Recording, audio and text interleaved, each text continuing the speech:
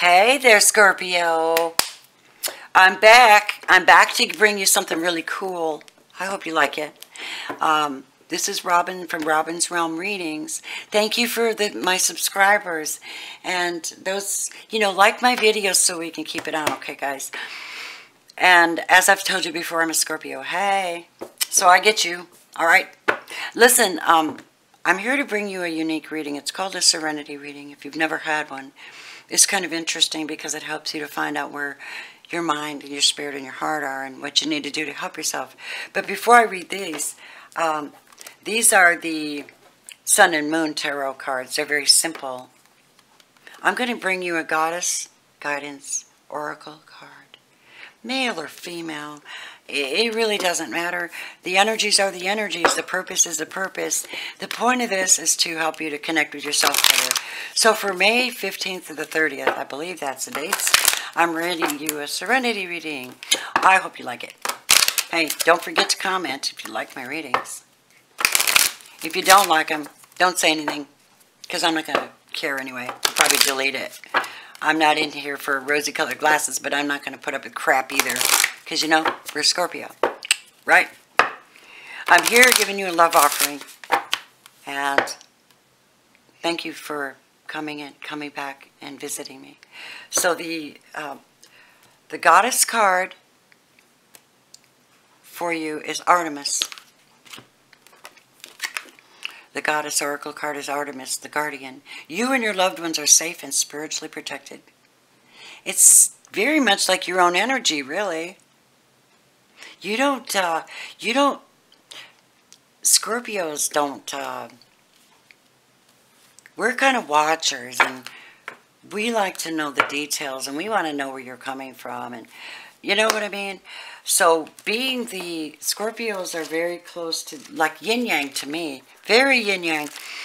Uh, male, female, powerful and sensitive, um, kind and cruel, just all of the above. But let's see what Artemis says to you, okay?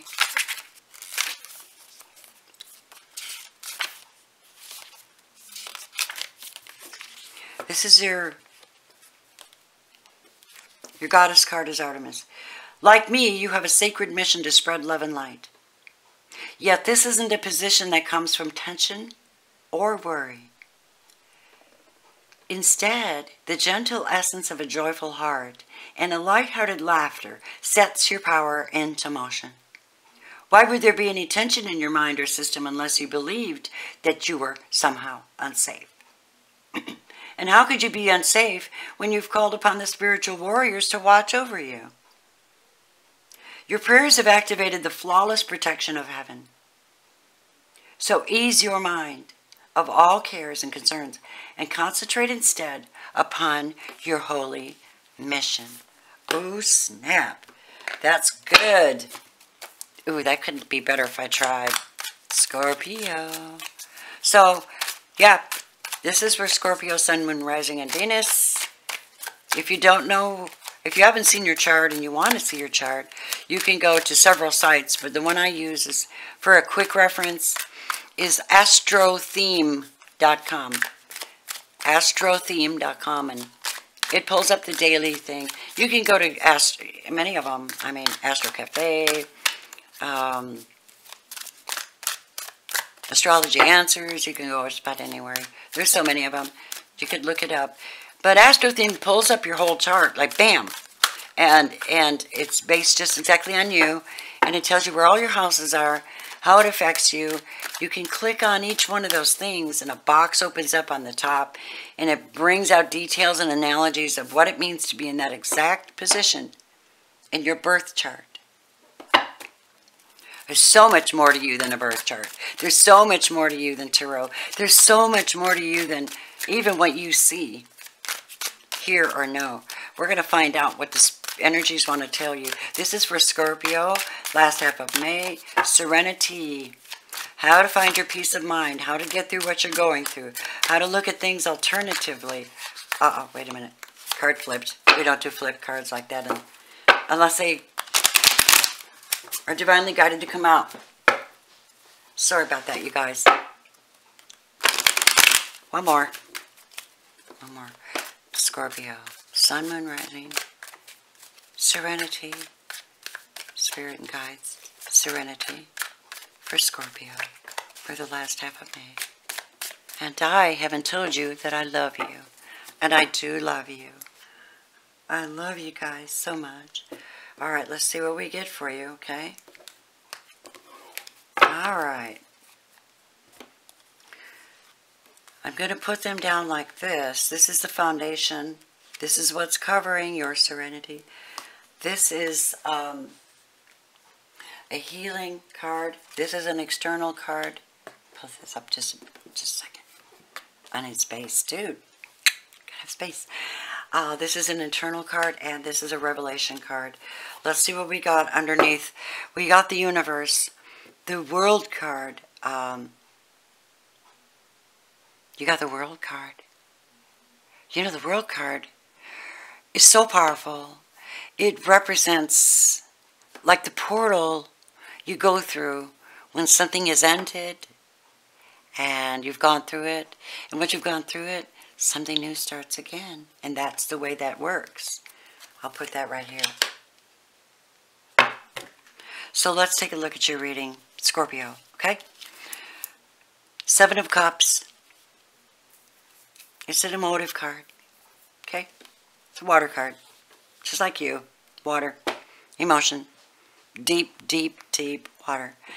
The problem with this energy, I'm going to make it very clear to you, that this is the card that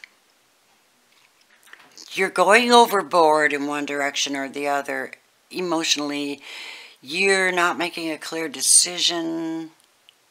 You don't have a full moon here, so there's like deceit. It's kind of a mischief. Um, and to that I say, knock it off. I know what I'm saying. I'm a Scorpio. So, this is where you're allowing yourself this is why you don't have serenity because you haven't made a decision. What you actually going to do, you you're going to have to. Um, hmm. Seven of Cups. No, you can't have many many relationships. I mean that are really really foundational and firm. How are you going to have peace of mind when you can't decide? You know, make a decision or something. You're covered by the Strength card. Um, the nine, oh, wait a minute. This is a nine of wands. I think I know why you're having trouble making a decision. Because the nine of wands is where you feel like you have to do everything for yourself. Every single thing.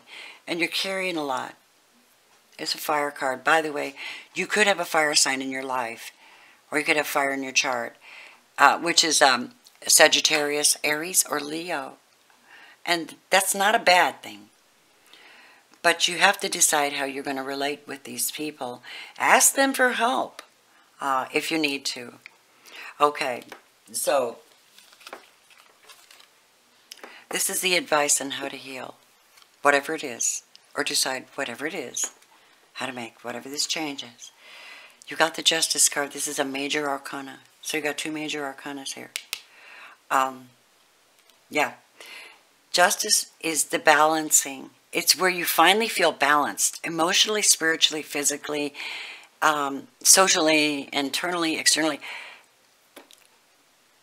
Make sure that you, what goes in goes out. Remember that, you know, the laws of the universe. What goes in goes out. What goes up goes down. What goes round and round. You are your temple. You are, you're it. And there is no one on the face of the earth exactly like you. You have to handle this yourself. But you need to ask for help. If this fire sign's in your life, ask them for guidance and help. Help them take some of this burden off. You have justice. This tells me you're going to have a very good outcome for whatever you put your, your mind to, whatever you do. This is an external card. It's the Ace of Pentacles. This is a gift from the heavens of, of financial well-being, grounding in relationships, uh, career, hope, peace. You'll have peace because you'll have a little prosperity coming. This is news of something good coming your way. Financial abundance. Uh, but it's a start of something new.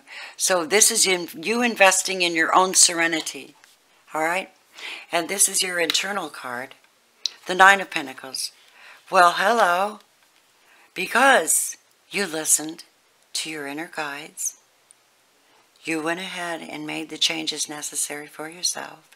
You stood you are you are spiritually grounded, you're taking care of your own business. You're asking for help. You're asking for help and you're getting it. And the universe and divine and God hears you. Okay? Please don't carry the world by yourself. Ask for help. The Nine of Pentacles is absolute abundance. Um, you could be attracting a Capricorn, a Virgo, or a Taurus in your space as well to help you. They could even be your yoga teacher. I don't know. Whatever it is, this is a serenity reading. So, Scorpio, um, you got to do it. You got to take care of yourself. You got to make changes.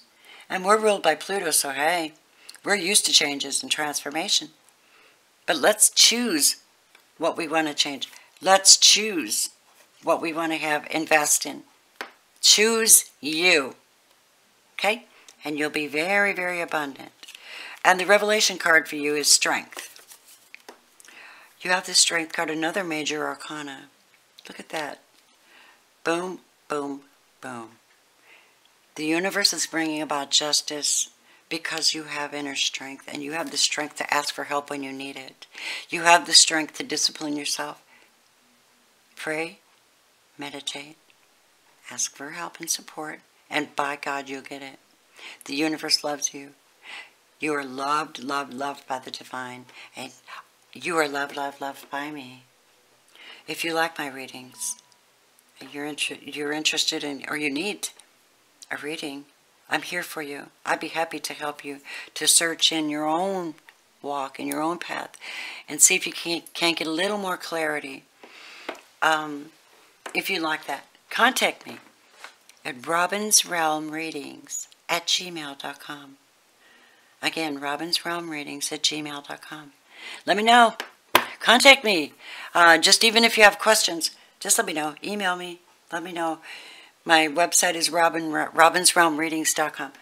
Yeah, I know it's a lot of words, but I went with Your Wellness Tarot and they wouldn't let me use it, so that's a shame. But I'm still here for your wellness. Okay, Scorpio, this is for the last half of May. Find it within yourself. Ask for help. Trust God. Trust the universe. Trust divine. Have strength. Accept your brand new course of action. It's all up to you, my divine loves. You have abundance. This is financial too. You have abundance. Take care of yourselves. Blessings from Robin's Realm. Bye.